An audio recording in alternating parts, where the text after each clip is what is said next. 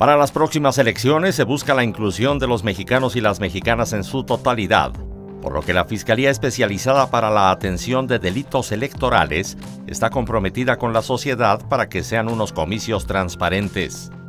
Al respecto, el consejero electoral del Instituto Nacional Electoral, Ciro Murayama, destacó que la vinculación entre democracia y universidades es inseparable por lo que los jóvenes decidirán el destino del país al acudir como testigo de honor a la firma de un programa de trabajo entre la Fiscalía Especializada para la Atención de Delitos Electorales y la Asociación Nacional de Universidades e Instituciones de Educación Superior.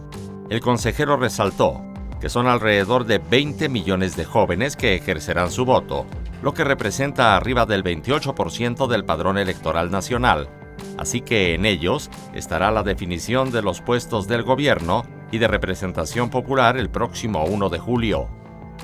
Asimismo, el director de la Fiscalía Héctor Díaz Santana dijo que se harán trabajos conjuntos para la capacitación, difusión y divulgación de información para la prevención de delitos electorales,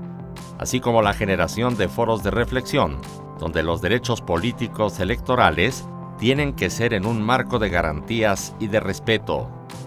Un convenio que promueve la cultura de la legalidad, la investigación en áreas especializadas de la justicia electoral, la inclusión de académicos, docentes y alumnos en la observación en los procesos electorales, así como la difusión de información para la prevención y denuncia de los delitos electorales. Notimex